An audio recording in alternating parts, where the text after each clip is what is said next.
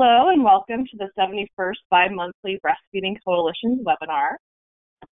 I am Alyssa Spees, the Constellation Program Manager at USBC, and I'm so glad to welcome you to this session.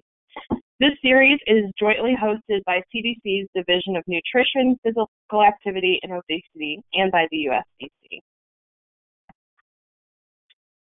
The webinars, referred to as the 222, are held on the second Tuesdays of even numbered months from 2 to 3 p.m. Eastern Time. And the purpose of this series is to bring together practitioners and advocates from the field of maternal and child health to share best practices and news, and to network and collaborate on issues of national significance. We alternate the sessions highlighting the work of state, cultural, and local coalitions one month and national and international organizations the next. Coalition members and breastfeeding advocates from around the country can join us for these free webinars. Um, to get all of our announcements, please join the Coalition's Learning Connection. A user account is required and it takes only a few seconds to set it up if you haven't already. And all topic and speaker details are posted on the Coalition's Learning Connection as well as the USBC public website. To streamline access to the series, these webinars have been set up so you only need to register for the series once and then you are all set. You will receive reminders before each webinar with the topic and speaker details. And we do understand that it's not possible to attend every session live in the midst of your busy lives. There's easy access to all archived recording. The webinar presentation, handouts, and video recording of this and past sessions can be found on the Coalition's webinar page. Uh, Operations Manager Danae Schmidt can share the link in the chat box. The link to the webinar page is also in your webinar confirmation email. And so to access materials, if you go to the USBC homepage at usbreastfeeding.org and you go and you click on coalitions and scroll down to the CDC USBC bi-monthly webinars, that will take you to the information that you um, are looking for in this series. And so for today's session, all participants are in listen-only mode. We'll have about 15 minutes for uh, questions and answers at the end of the presentation but we hope that this will be as interactive as possible despite the virtual format. So please share your insights and questions as they come up for you during the session. And to um, enter in your questions, you will go to the control panel on the right side of your screen. And if you don't see it, it might be minimized. But if you click on that orange tab, it should pop out again. And if you scroll down below the audio section, there is a tab for questions. And so when you click on it, it will open up a box for you to type in your questions and comments. If you have any um, webinar-related technology issues during this session, please send an email to coalitions at usbreastfeeding.org, and someone on staff will do their best to help you out. That takes care of housekeeping and brings us to today's topic. So today's session is advocating for reduced breastfeeding disparities in Los Angeles County, California. California has the most comprehensive laws protecting breastfeeding in the nation. However, even the most comprehensive law is ineffective if it is unknown, inaccessible, and unenforced. Knowledge of legal protections and strategies for advocating for one's legal rights is critical to addressing breastfeeding disparities. When advocates are aware of breastfeeding laws, they can better support new parents in meeting their breastfeeding goals. In today's session, we will hear about the comprehensive advocacy toolkit developed by Breastfeed LA for their 2017 Advocacy Day training last August. The innovative, inclusive design of the day-long advocacy training centered breastfeeding equity concepts and principles and included skills practice focused on putting advocacy into practice.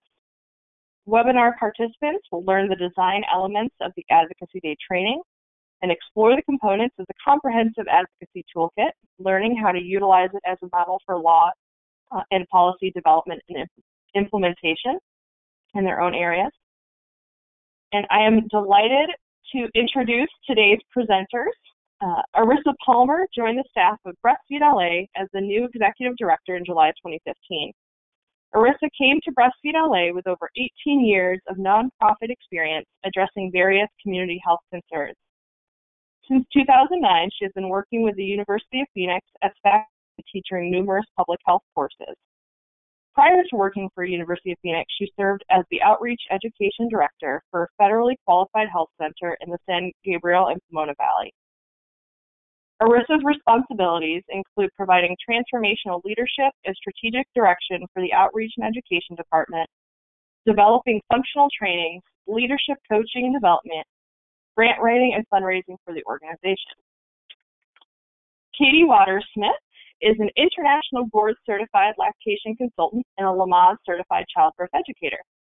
She supports new families at Good Samaritan Hospital in Los Angeles, teaches prenatal classes at the Family Room in San Marino, and is the advocacy, advocacy committee chair for Breastfeed LA. She has a bachelor's degree in public policy analysis from Pomona College.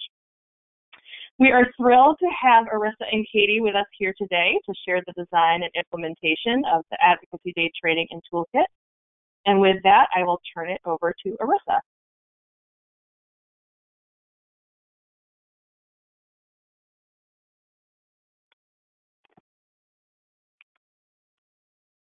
Great, thank you so much,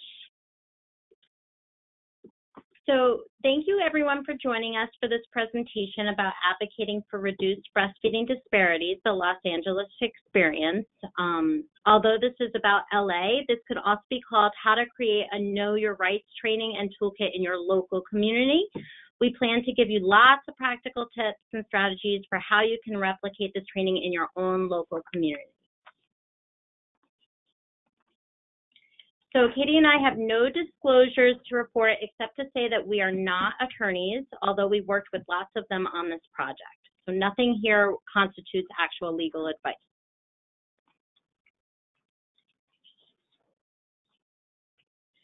So today, these are the objectives, and what we plan to teach you mm-hmm. is how to create your own advocacy toolkit in your own local community. We also plan to provide you with a model of how to replicate this training we want to share our resources with you and give you all the tools that we use in an editable format so that you can recreate it and adapt it to your own local community. And I'm going to share a little video with you because um, these are the stories that actually made us decide that this was something that was needed in our own local community.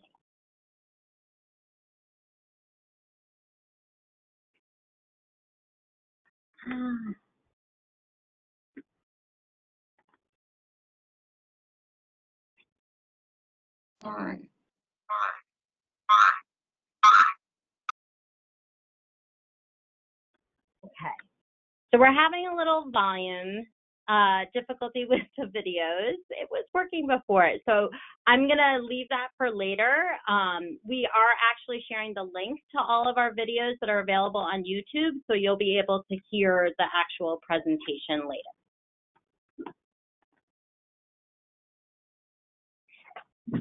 Um, so the purpose of the, the toolkit and, and the training were really to give breastfeeding advocates, whether they were professional or volunteers, um, the knowledge and skills to be able to understand what breastfeeding protections are available um, in California for new families. Um, and I can really speak to this from my own personal experience since working on the toolkit and understanding more about um, especially paid family leave and lactation accommodation protections. I use this information every single day when I'm working with new families. Um, I work in a hospital um, where we have many patients who are unaware um, that they have the right to lactation accommodations at work, and that is actually why uh, many of them are not intending to exclusively breastfeed when they come to our hospital.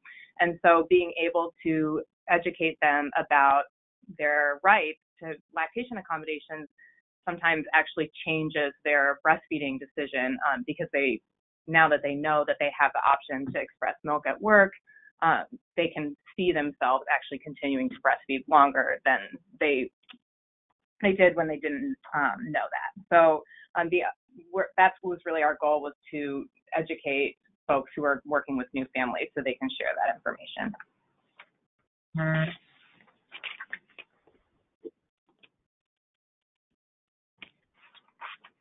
So to kind of give you an idea of why this toolkit and training came to be uh, and how it actually came to be. Many times Breastfeed LA had received stories from community members stating that their breastfeeding rights were violated and they didn't know what to do. We actually share our office space with one of our WIC partners, and oftentimes their breastfeeding peer counselors would come to us with a parent who was asked to cover up in public or not provided accommodations at work, and they wanted to know how to help that client, but they weren't sure what to do. So we we started a rapid response team to address these issues in partnership with the California Women's Law Center and the ACLU SoCal. But what we were finding were that we were the only ones with this knowledge. And we wanted to make sure that the community actually had the knowledge and was able to advocate for themselves. So one of our staff mentioned that it was a dream of hers to create a toolkit so that other advocates in the community would know how to advocate for themselves and others. And we felt that enabling others to advocate for breastfeeding rights really strengthened our community and our ability to advocate for breastfeeding and paid family leave rights and have a greater impact on the community. So at a steering committee meeting, Katie, as a volunteer, uh, said that she would not only help to create the toolkit, but that she would also want to provide a free training for the community so that the community could learn about their rights. And she was adamant that the training be free since folks should not have to pay to learn about their rights. And that was really the beginning of how this training and toolkit came to be. So what we're going to do now is walk you through our process. We started planning the advocacy training in January, um, and the training and toolkit were released at the end of August. So we're going to go chronologically. um, so in the first two months, um, what we focused on was creating the outline of topics that we wanted to address in the toolkit. Um, we did this by meeting with a group of volunteers um, who were working directly with new parents, and um, Breastfeed LA also had two MPH um, interns at the time who helped with this project. And we just sat down and really envisioned every scenario um, that we had either personally encountered or knew that of um, knew of in the community where people had had challenges um, with breastfeeding. So um, paid family leave was a big topic, um, breastfeeding at, in the workplace, um, breastfeeding in public, uh, breastfeeding in schools, both um, K through 12 schools and in higher education.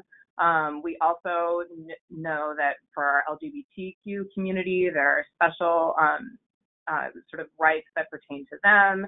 And so, and we also looked into breastfeeding and adoption, breastfeeding and surrogacy situations. Um, and so that was our basis for designing both the toolkit and choosing topics for the training. Um, once we had created that outline, um, the MPH interns actually sat down and went through um, every topic and found all of our state and federal laws that pertained um, to those topics and created an outline for the toolkit.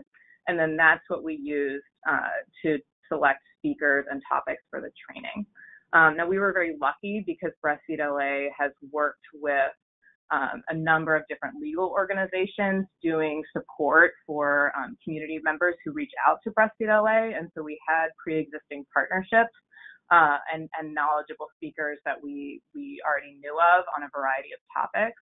Um, and so that made it really easy um, in a lot of ways to just reach out to them. And everyone wanted to participate. They were really excited about the idea. Uh, and so we were able to book speakers and free space at the California Endowment all within the first couple of months.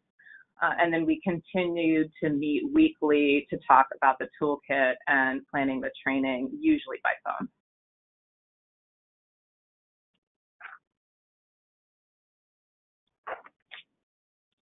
So the sponsorship form was created using a Canva template. Canva is a free uh, uh, design software that is free to use if you're a nonprofit. So I highly recommend if you're a nonprofit to use them.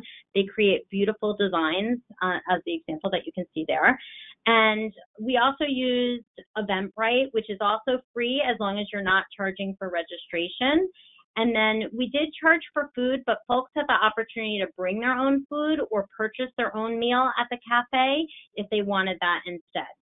So after we created the Facebook event and opened the registration via Eventbrite, I literally did one Facebook post about the event, just one. And within 24 hours, we had 50 people registered. And that was so exciting for us because we realized that we were doing something novel that wasn't available yet in the community and that people really yearned for. We were excited to know that we were truly answering a need or a gap in our community, and that was really evident by the registration pouring in and also the number of organizations who were eager to help sponsor the event, speak, uh, without charging a fee and just come out and help for this. It, it really was like something that everyone in the community really wanted and was excited and thrilled about. So months four through eight were um, really focused on the meat of making the toolkit, which, um, to be honest, was a pretty uh, labor intensive process. So that's something that's important to know if you are planning on doing this. Um, yourself. Again, we were incredibly lucky to have a dynamic group of volunteers who helped us um, write the initial draft of the toolkit. What we did was we divided up the topics uh, in the toolkit, and then people volunteered to use our pre existing outline and then write the actual content. Um, and our goal with the toolkit was to make it as easy to understand as possible. Um, in fact, throughout the process, we were checking the reading level um, in Microsoft Word to make sure that it was at a high school reading level. Um, and you know that was a, a, real goal that we had because if any of you have looked up laws on the internet, um, sometimes legal uh, information is really difficult to understand. So that was our first step was having volunteers write all of those initial drafts. Then we had attorneys from the Breastfeed LA Board of Directors, the Doula Association of Southern California Board of Directors, the California Women's Law Center, the Center for Work Life Law, and the ACLU of Southern California all review um, different sections and provide edits. and some of those lawyers were mostly reviewing content that we'd written and making edits and some of them wrote large sections of the toolkit themselves. Um, and that was just such an amazing um, aspect of putting this toolkit together was having that assistance from all of the, the lawyers. Um, they were really passionate about getting this information out. Um, they all had experience working in these different areas. So, for instance, the Center for Work Life Law um, helped a lot with the uh, lactation accommodations in the work workplace scenario and we're able to imagine situations that frankly I hadn't even thought about, um, such as if someone were working as an independent contractor um, and wasn't an employee, how would the California law cover that person? Um, and what would that person need to understand about their rights for lactation accommodations? Similarly, the ACLU of Southern California has been working a lot with incarcerated women who are lactating um, and so they were able to help us not only with uh, writing writing out the, the legal rights um, for someone in that situation, but we were able to provide their information as a resource um, for anyone in, who is incarcerated and lactating, as well as um, some model policies. So um, that was a huge element of why we were able to put this toolkit together. And then once we had um, had the attorneys look at it, we had 20 additional volunteers read through the toolkit again um, for edits and clarity. And this was really a labor of love for everyone involved, I think, because I had the experience of being in our Google document that we were using at the time at like 10 p.m. on a Wednesday, and I looked at the top part of the screen, and there were, tw- you know, 10 or 15 other people in the toolkit at the same time, and everyone was reading through it, making sure that um, you know the grammar was right. Um, it was really amazing, um, and so to, I really felt that in that moment was that this was something that everyone wanted to see happen, um, and that and we knew it was really important. Um, in addition to that, we had um, a local lactation consultant who um, volunteered to translate the entire toolkit for us into Spanish, um, which was no small feat given that it was 45 pages long and we were sending her last minute edits um, with some regularity before we got to printing. Um, and then her parents, who are also native Spanish speakers, actually helped her with the translation as well. And there were some interesting um, aspects to that, especially because we made the decision to use gender neutral language um, and gender inclusive language in the toolkit. Um, and so our translator was very sensitive to that and was working on how to make sure that um, that was reflected in the Spanish language translation. Um, which, for those of you who speak Spanish, you know that Spanish has two genders and gender is, is you know, throughout the Spanish language. So that was really amazing as well. Um, in terms of the actual design for the toolkit, um, we did hire a graphic designer who was amazing um, to help transform it into a more readable format. Um, he did a couple of infographics for us as well um, and helped us arrange the toolkit topically because our goal was that someone would be um, interacting with a new parent, say, who had a question about um, breastfeeding in K through 12 schools and would be able to look that up in the toolkit and flip right to that section. So that's part of why some of the information is repeated in a couple of different places, um, because our goal was that people would be able to look at that section of the toolkit and read everything they needed to know on a particular topic um, to make it really user friendly. So while we were doing all of this with a toolkit, we did a couple things for adv- the advocacy training as well. Uh, we hired a videographer who to film stories on the actual training day because we knew that there were many people um, in Los Angeles who were already advocating for themselves, and we wanted to be able um, to give them the opportunity to share their stories and experiences um, with the other folks and because that's really inspiring always to see somebody who has stood up for themselves and um, and then we also created postcards to send to assembly members because we wanted to have um, a, a, legal advocacy um, aspect to what we were doing in the training as well. At the time, we were working with the California Work and Family Coalition to pass um, expanded paid family leave protections. Uh, and so we created postcards that people could send to their assembly members right from our event. Um, that law did pass, and so now 2.7 million more Californians are eligible for paid family leave because that law passed. Uh, and then the other um, thing we did, a postcard, was for the insurance commissioner um, asking that he um, make sure that all of the LA uh, insurance companies are providing the support, supplies, and counseling that they should be under the Affordable Care Act. So it was a busy couple of months. so this is just a photo from our event uh, and a copy of what the program looked like with all of our sponsors listed on it. We're happy to share our program and any materials that will be helpful to other folks in making this easier for them to recreate. So if anyone wants any of our materials in an editable format, you can email us afterwards and we're happy to send that off to you. All right, so I'm going to talk a little bit about um, the nuts and bolts of organizing the actual training day.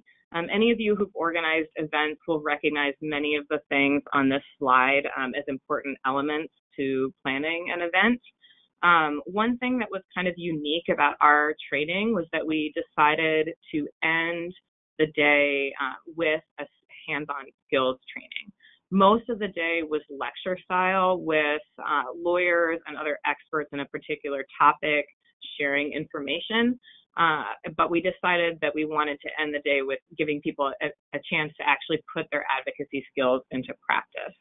Uh, and so we worked with the Restaurant Opportunity Center of Los Angeles, which is an organization um, that supports restaurant workers and advocating for their rights to tips, overtime pay, dealing with on the job issues. They also support restaurant workers who are being denied lactation accommodations. And so someone came from from the Restaurant Opportunity Center of Los Angeles to help design a training where everyone who came to the advocacy day could get a chance to practice asking for lactation accommodations, both in a straightforward scenario and in a scenario where they're meeting some resistance. So, in order to do that, um, we needed to recruit 30 volunteers to facilitate that skills training at their particular table because those style, style trainings work much better in small groups. Uh, and this was yet again another part of the advocacy day training where we just got an overwhelming response very quickly from many, many people. Um, in order to facilitate the training, we asked people to attend a one hour long phone call in preparation. Uh, every single person who facilitated did that. Uh, it was it was incredible, um, and that part of the day ended up um, working really well, uh, and people really enjoyed getting the chance to practice um, their skills. So that was a big aspect of planning the train the training. Um, we also had a lot of logistical things that needed to happen. So creating the program and the agenda, printing that, um, collecting advertisements for the program because again, we wanted to cover our costs and keep the cost as low as possible for participants. We printed the programs, we ordered bags, we had a stuffing the bag party before um, the training. We also had to collect speaker presentations, make sure that we had a copy of their presentations. We created an evaluation. We spent some time also thinking through good prompting questions for the Advocacy Day videos um, because we wanted to make sure that we ha- we were able to help people tell their stories in a powerful way. Um, we ordered food. We added sponsors to the website and flyer. And again, just like with any event, we had a lot of last minute details that needed to be taken care of, last minute emails and phone calls. Um, but everything came together really beautifully in the end.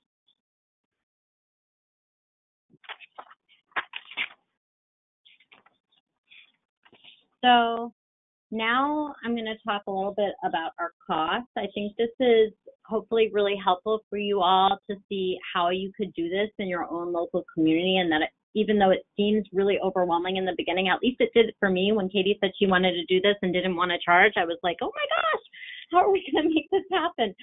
But really um, it, it, it did come together really beautifully and the costs really weren't that overwhelming when you actually looked at it and you looked at how many people were willing to help. So this is kind of a breakdown. We did charge a small amount for food. We had $250 donated for food which helps to pay for the cost of our volunteers and speakers to have lunch um, and breakfast. First Five California gave us a $3,000 grant, which covered graphic design costs, videographers, and the printing of the postcards. Um, and like Katie said, we sent over 100 postcards to our governor, assembly members, and insurance commissioner. And a law passed as a result, which is really exciting. Um, and then I did not include staff time on here because we had so many volunteers um, and the I, I felt like even though we did have paid staff on the project, um, it wasn't specific for this. And because there's so many volunteers, this really could be recreated in another setting by volunteers.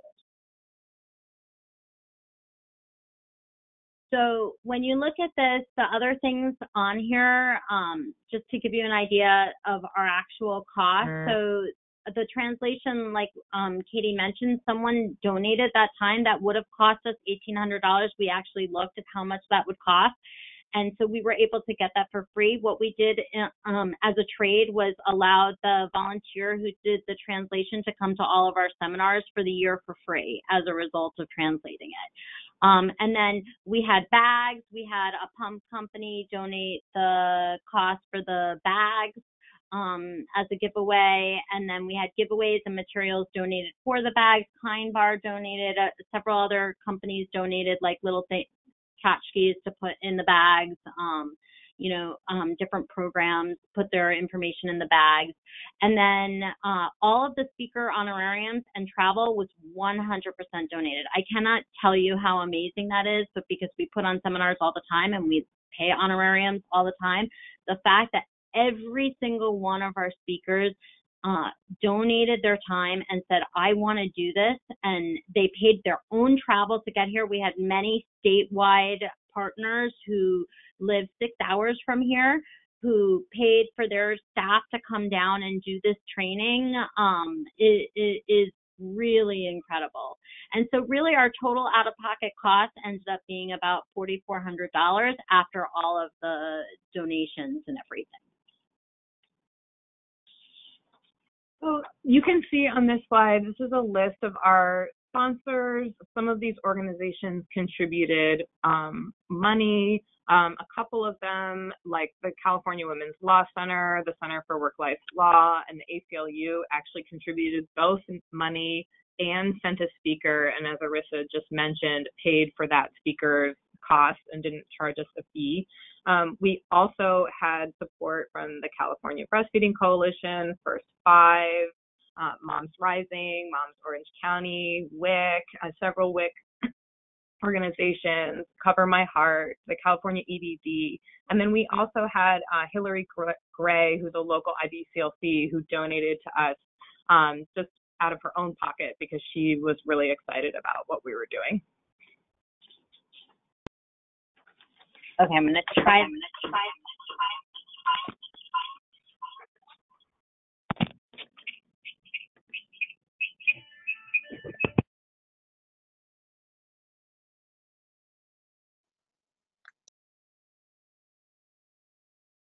Arissa and Katie, I think we've lost you. I think you may have muted both of your lines.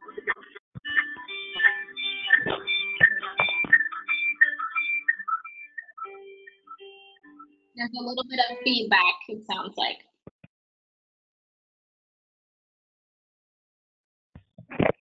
Okay, okay. Okay. Still getting some feedback. I think there's another microphone that you have in the room that might be connected. Yeah, okay. Unfortunately, we we can't figure out how to get the videos working.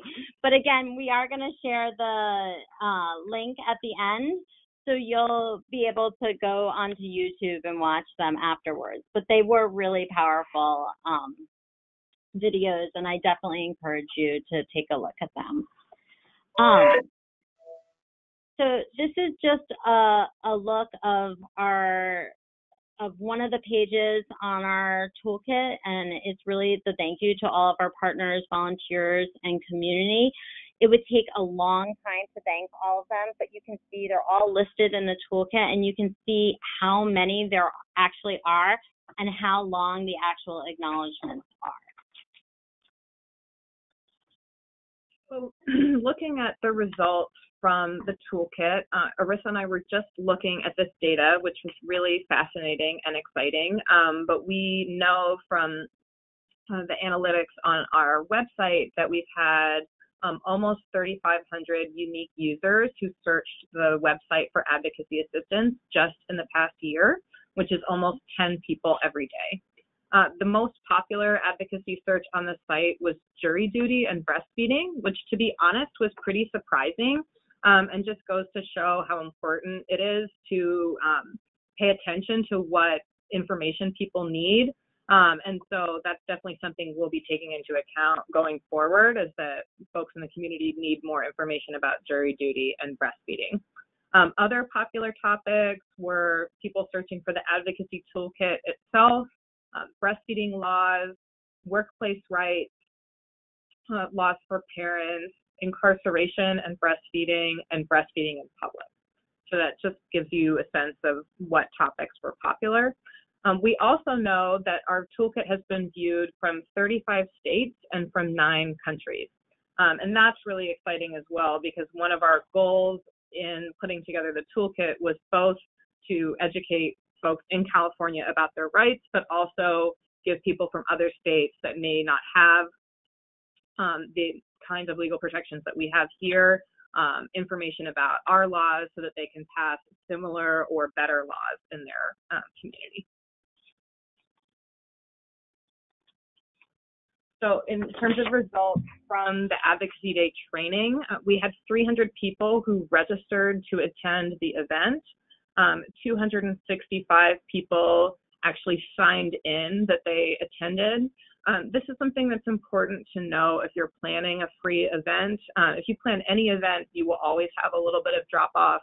Um, that's especially true with events that are free, however. Um, but to be honest, I've planned many free community events and um, we had a much higher participation rate from people who registered than I've seen in other events. So I thought that was pretty good. Um, we also created 16 advocacy videos from interviews that were done at the training. Um, one of Breastfeed LA's staff members um, roles during the training was to ask people if they were would be willing to create a video with us. Um, 15 of those videos were in English, and one of the videos was in Spanish. Um, each video that we've posted on the Breastfeed LA website has had over a thousand views on Facebook. Um, and the other thing that happens whenever you have an event um, where people come and, and, interact in person is that many meaningful connections were made at the event. Um, Breastfeed LA um, got a new board member who attended Advocacy Day. Um, there was someone who attended Advocacy Day who's now um, a scholarship recipient from Breastfeed LA's lactation educator training. Um, several of the people who are helping us plan the Equity Summit this year um, first participated at Advocacy Day and then were inspired to continue volunteering with Breastfeed LA. Um, so it's a very powerful event. And and really, like I said before, this was a response to a need in the community. And because it was needed, people showed up, they responded, and they were ready to roll up their sleeves and help. We did have a lot of lessons learned. Uh, we are always looking to include more women of color in our planning committee. The toolkit took a tremendous amount of time, and we really needed more time on it than we had. Um, we definitely could have used additional time to finish that. I would highly recommend either covering the cost of food for everyone or not for anyone. That was really stressful for us the day of to track how many people who who paid for lunch and who didn't and where people were going and it was an added stress that we didn't need. So I would definitely say do it one way or the other in the future. Um, we also wish we had made handouts for some of our most common complaints, issues we see, so we could easily share that with folks. Um, but that would have required a larger budget. And then also, rather than having a PDF, we actually, what we're working on doing moving forward is uploading it to the website as individual pages because then it's easier to track analytics and exactly what people are looking at. Um, and so that's something that we're working on transitioning to. Right now, we have like the toolkit specifically up, and if people search certain terms, it'll come up, and so we know what terms they search for. But it would be much easier if we just had like specific sections on the website. It also would be easier to update when new laws pass, like SB 63 passed afterwards, and it was like, okay, we need to figure out how to update the toolkit. But if it was not a PDF and it was individual pages on the website, it would be much easier to update anytime a new law passed. Um, and also, it's great to have it in more languages. That's definitely something that we'd like to do in the future. So next steps, we're hosting a Breastfeeding Equity Summit on October 10th and 11th. We want to translate the toolkit into other languages and plan to separate the sections out better on the website, like I mentioned. We do plan to do a, a post evaluation survey to understand how folks are using what they learned during the training and how they're utilizing the toolkit. And we plan to continue to share our resources and lessons learned with other coalitions and community stakeholders like we are today. And then here's our contact information in case you want to get in touch with us. Like I said, we're more than willing to share any of our resources in an editable format so that you can use it and make it your own. Um, here is our contact information so that you can get in touch with us. And then to actually download the toolkit, this is the link, and you can download it in English and Spanish. And then to watch our advocacy videos, we do have them up on YouTube. We don't have all of them up right now, but in the next few weeks, all of them will be up. Um, but we do have a few of them up right now, and the ones that we were going to show today are up. So if you want to take a look at them, they are they are free. All right, so that concludes our presentation. Um, we know that uh, when people speak up for themselves and their rights, whether it's about breastfeeding in public or breastfeeding in the workplace or however they're using the toolkit, um, that that act becomes a ripple effect that affects everything else in their life. And so that's really um, what our goal is with the toolkit and um, in supporting all of you who may want to make your own toolkit or plan your own training in your community. So thank you, and we are ready for questions. Yes.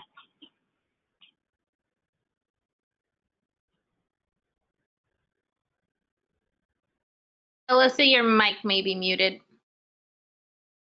Yes, thank you so much, Arissa and Katie. Thank you for all this great information and, um, you know, food for thought for other folks who are interested in supporting families in their communities. And we have a number of questions and comments that have come in. um, the first is a comment that just says, um, you know, no questions, but I hope to view the videos and thank you for your passion to assist breastfeeding families.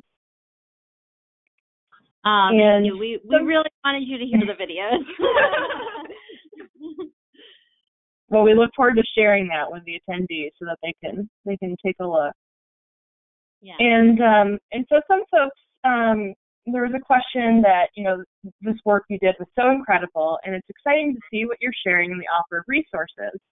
But we might need to start much more humbly. What value do you think there may be in gathering for at least the initial initial conversation? I think yes, absolutely. I think that like that's how we all started here was just an initial conversation. Our summit uh we actually had like have a steering committee that was meeting quarterly and we were trying to kind of revamp and revitalize the steering committee to be honest with you and that was a conversation that started out of that. So I absolutely think um, coming together and bringing this idea up and seeing what kind of buy-in you have from other organizations that you work with and community folks is is valuable. You could even pick one topic that you know is particularly important for your community and start there with just making sure that you have information, for instance, about pregnancy disability leave or paid family leave on your website and then um, go from there. So I agree. Great. Um, next question is, sounds like your existing relationships with legal counsel helped a lot. You know, a lot of great partners. What advice might you have for organizations that don't have that base built already? That's a great question. Um, I think just get yourself out there and start going to some of the those meetings. Like um, we also really partner very closely with the California Work and Family Coalition, and kind of like look at what are some of the other coalitions in your local area or your statewide area that you can be a part of. A lot of them have phone meetings, so if you can't make it in person, you can still at least hop on a call um, and get to know folks. Um, definitely, I would encourage you to just reach out to your local ACLU representative, find out who they are, and ask them um, if they can partner with you on any issues that you have related to breastfeeding advocacy. I'm sure they would be willing to jump at that. They're always such great partners. Um, then the Center for Work Life Law is a national partner and they're extremely helpful and welcoming. And so you can just contact them if you want their contact info, email me and I'm happy to send it to you. Um, but they are national partners and they are incredibly responsive and helpful and can help you on anything related to lactation accommodations in the workplace and also in schools, colleges, universities, K through 12 schools. They're, they're incredibly knowledgeable in that area and willing to help. So just kind of reach out to who you know, already know about and and re- and from there ask them what are some other coalitions that you know of that I can be a part of and get to know who some of those partners are. Great. There was a request if you guys can show the contact information screen again so folks can see how to get in touch with you. Absolutely. Thank you. And Um, so is Advocacy Day something you envision repeating on a regular basis? I think that it could take shape in another form, possibly next year or 2020. Um, this year, sorry, we decided to focus on a breastfeeding equity summit, which really came out of a lot of the response that we received from Advocacy Day. So, as an example, one of the things that really was talked about a lot at Advocacy Day that I didn't know so many people had a lot of questions about was about like immigration detention and breastfeeding and incarceration and breastfeeding. Those things really came out at Advocacy Day as conversations. And so we wanted to make sure that we did some further diving deep into those areas, which was the result of the um, Breastfeeding Equity Summit. So I do think that there is definitely opportunity for Advocacy Day to take shape in different forms in years to come. Wonderful. Um, we've had a few requests to have the links to your advocacy videos, and Danae has shared the link in the chat box. So folks that are interested in seeing those can check out that link, and we will um, share them out as well after the webinar. So Great, I know that you you had talked about um, you know looking at the evaluation of the toolkit in terms of how many um, you know, views there were, but we had a question that said, you know, what steps have you taken to evaluate the impact of the toolkit? Are there other evaluation pieces that you guys have looked at? Well, we did do an evaluation for Advocacy Day. Um, for the advocacy toolkit, I would say it's just been really looking at what people on the website are downloading and what kind of questions have come up since and um, like just more anecdotal, but we do are interested in doing, like I mentioned, the post um, the the post evaluation, kind of sending out a survey to the folks who who attended the training, um, but possibly also um, who have access to the toolkit to asking them wh- what they like about it, what they don't, what are they miss- still missing, are they aware of it. Um, I definitely think there's opportunity for us to do more evaluation of that.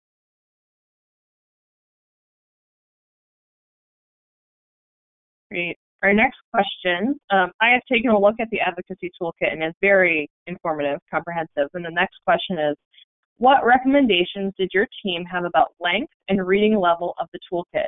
So many advocacy tools are written in legalese. So this was something that we definitely focused on was doing our best to make the toolkit um, both concise and at an appropriate reading level or an accessible reading level. Um, it was definitely challenging to do that, um, both because of the, the, you know, the law, it can be complex, and also um, just trying to figure out how do we explain some um, a, a, sort of complex scenario as simply as, as possible. Um, it definitely was a little longer, I think, than we intended, but we um, we wanted it to be a comprehensive guide. So that's part of why if, if we had been able to do it again and we'd had a larger budget, it would have been nice to create some user-friendly handouts that kind of synthesize and summarize the information um, that people could actually give to their clients or patients, for instance. Um, but we do link to other organizations in the toolkit who have those resources available. So, for instance, Legal Aid at Work has a great handout about California's paid family leave laws that I personally use all the time and that I actually was able to get into our hospital discharge packets where I work. Um, so there are links to additional resources that you all can use as well.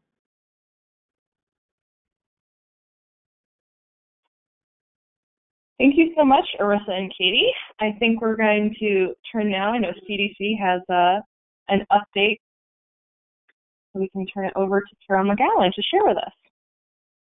Thank you, Alyssa. And um, first of all, thank you, Arissa and Katie. That was a tremendous presentation, and I appreciate the fact that you evaluated it um, and provided input on the cost and the imp impact that has just started. So thank you very much. Um, okay, so I have a very quick announcement. I just wanted to let you know that we're collaborating with CD, with USBC, not with CDC, with USBC on um, celebrating National Breastfeeding Month. So just wanted to let you know that for this week, um, our new feature on emergency preparedness and breastfeeding is live. Um, you can go to our homepage and then click on the first image in the rotating banner and that'll take you right to the information. I gave the links to Danae to post on the um, chat box of the of the links of the uh, websites I'm talking about today. Um, I think you'll find that this is a resource-rich and informative feature, much better than what we had before. We've added a lot more to it. Um, and I think it's really important for us to have available. I mean, we're still fighting with wildfires, it's still hurricane season, and disasters just seem to be happening a lot. Um, the other thing I wanted to mention to you is that on Monday, the breastfeeding report card, an abbreviated um, breastfeeding report card will be released. Um, it is going to be abbreviated only in that we're two years away from Healthy People 2020, and this report card is focusing solely on whether we've met or how close we are to meeting the Healthy People 2020 objectives. Um, so in the meantime, follow us on social media at CDC Obesity. And I've also posted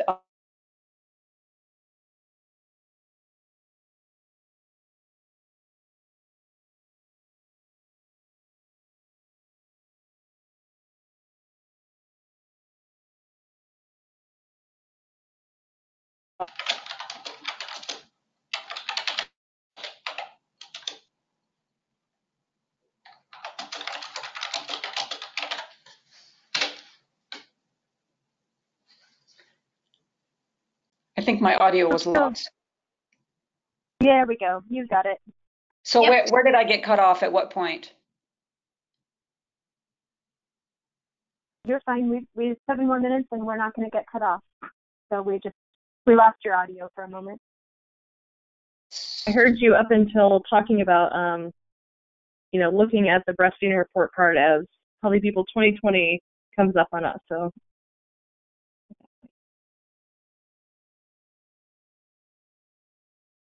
also our Facebook page, which Danae, hopefully you've posted that um, so people can get that off the chat box. And that's all I had. Thank you.